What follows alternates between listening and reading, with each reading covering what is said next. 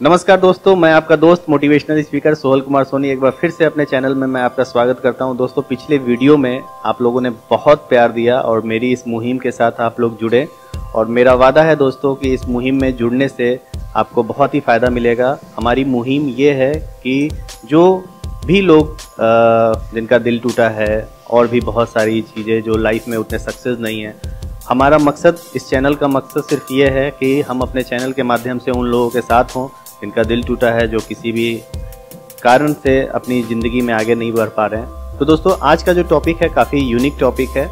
आज हम लोग बात करेंगे जिस टॉपिक पे, वो बहुत ही मज़ेदार टॉपिक है और इस टॉपिक का सबसे इंपॉर्टेंट रोल क्या है, वो मैं अभी डिस्कस करता हूँ। दोस्तों, आपने सुना होगा, इंसान जो है, गलतियों का पुतला होता है। अगर इंसान गलतियाँ ना करे तो वो भगवान की श्रेणी में आ जाता है। हम सारे लोग कहीं ना कहीं अपने पास्ट में बहुत सारी गलतियाँ करते हैं। जब पढ़ाई का समय होता है तो शायद हम उस समय मन लगा के पढ़ते नहीं है। जब काम करने का समय होता है तो उस समय हम लोग मन लगा के पढ़ते नहीं है। लेकिन दोस्तों, समय अपने हिसाब से, अपनी गति से चलता जाता है और एक दिन हम लोग भविष्य की ओर बढ़ते चले जाते हैं।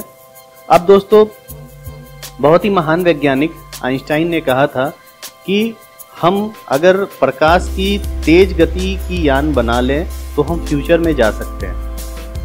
लेकिन प्रकाश, शर्त यह है कि वो यान जो होनी चाहिए, वो प्रकाश की गति से तेज चलनी चाहिए। दोस्तों, इसके अलावा एक बहुत ही फ़ेमस वैज्ञानिक हैं बहुत ही अच्छे वैज्ञानिक हैं, जिन्होंने स्टीवन हॉकिंग साहब, जिन्होंने एक किताब लिखी थी थ्योरी ऑफ़ एवरीथिंग और वो किताब काफ़ी नॉलेजेबल थी, काफ़ी बहुत ज़्यादा पब्लिश हुई है किताब, सभी लोगों ने इसको हाथों हाथ लिया, और स्टीवन हॉकिंग्स ने हम इंसानों के दिमाग को हिला के रख दिया उनकी थ्योरी के द्वारा, और वो थ्योरी ये थी कि हम किसी भी हालात में पास्ट में नहीं जा सकते हैं, क्योंकि पास्ट में जाने का मतलब होता है एक विरोधाभास की स्थिति का पैदा होना। दोस्तों, मैं आज आपको ये सब बातें क्यों बता रहा हूँ?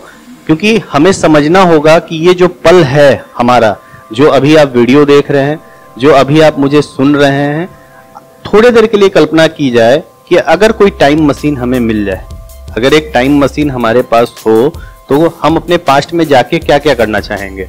तो ज़ाहिर सी बात है, आपने भी सोचा होगा इस चीज़ के बारे में, अगर हम सारे लोगों को आपको पास्ट में मिल जाए तो हम अपने बचपन की उन गलतियों को जो पास्ट में हमने गलतियाँ की है, उन सारी गलतियों को हम, वो गलतियों को सही करना चाहेंगे कि हमारा फ्यूचर आने वाले समय में काफ़ी अच्छा हो। लेकिन दोस्तों, ऐसा पॉसिबल नहीं है। आइंस्टाइन और स्टीवन हॉकिंग की थ्योरी के द्वारा हम किसी भी हालात में पास्ट में नहीं जा सकते हैं, यानी जो हमारा पल है वो काफ़ी कीमती है।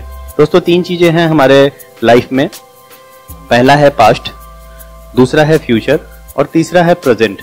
आइए सबसे पहले पास्ट के बारे में जानते हैं। अभी मैंने आपको साबित किया कि पास्ट में हम किसी भी हालात में नहीं जा सकते हैं। अगर हम अपनी पूरी दुनिया की दौलत को खत्म कर दें, तब भी हम पास्ट में नहीं जा सकते हैं। तो ये तो साबित हो गया, हम अपने पास्ट में जाके उन गलतियों को कभी नहीं सही कर सकते हैं जो हमने कर दिया है। तो अब हमारे पास क्या बचा?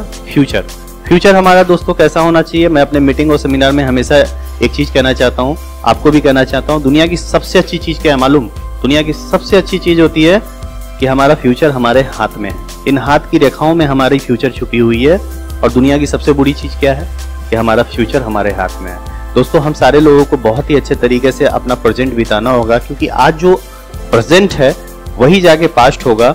और आज जो प्रेजेंट में हम लोगों ने काम किया है, हम लोगों ने जो तैयारियाँ की है, हम लोगों ने जिस तरीके से ज़िंदगी को जिया है, वही हमारा फ्यूचर डिसाइड करेगा कि फ्यूचर में हम कहाँ तक पहुँचना चाहते हैं और लोग कहाँ तक पहुँचेंगे। दोस्तों, बहुत सारी थ्योरी है, बहुत सारी चीज़ें हैं कि जिसको करने के बाद अगर हम अपनी चीज़ों को लगातार, हम मोटिवेशनल वीडियोस देख रहे हैं। सिर्फ़ मेरी मत देखिए, अगर मैं आपको ज़्यादा पसंद नहीं हूँ, बहुत सारे लोग हैं, उनकी वीडियोस देखिए आप। लगातार अपने आप को बूस्टअप रखिए। जो हो गया, उसको किसी भी हालात में नहीं बदला जा सकता है। लेकिन जो होने वाला है, वो हम डिसाइड करेंगे कि आज मेरा, हमारा फ्यूचर क्या होना चाहिए। तो दोस्तों, अपना फ्यूचर डिसाइड करने के लिए आपको अपना प्रेजेंट सही करना होगा।